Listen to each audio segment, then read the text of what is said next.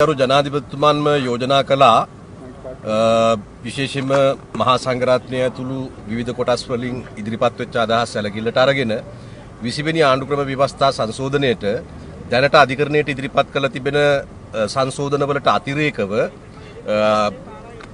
විගණනය පිළිබඳව 19 වෙනි සංශෝධනයේ තිබුණු ආකාරයටම තියන්නත් ඒ වගේම හදිසි පනත් අ, ජාතික ආපදාවකදී හෝ ජාතික ආරක්ෂාව පිළිබඳ කාරණයකට පමණක් සීමා කරන්නත් විශේෂම ව්‍යවස්ථා සංශෝධන වලට හදිසි පනත් ගේන්න බෑ කොහොමඩක් දැන් තියෙන විදිහට ඊට අතිරේකව හදිසි පනත් අ, ගෙනෙන්න පුළුවන් ජාතික ආරක්ෂාව හෝ ජාතික ආපදාවක් පිළිබඳ ප්‍රශ්නයකට පමණයි කියන එකට සීමා කරා.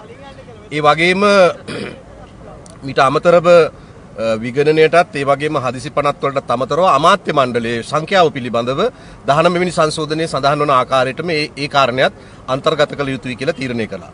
ඒ අනුව ඒ ප්‍රගතිශීලී වෙනස්කම් තුන අමාත්‍ය මණ්ඩලයේදී ජනාධිපතිතුමාගේ යෝජනාවකට අනුව තීරණය වුණා 20 වෙනි සංශෝධනයට අදාළව ගෙන. විස්ස සම්මත වුණත් ඇමති මණ්ඩලය වැඩි වෙන්නේ නැහැ කියලා ඉතින් මම දැන් කිව්ව එක තේරුණා නම් තේරුම් ගන්න එපා. යා.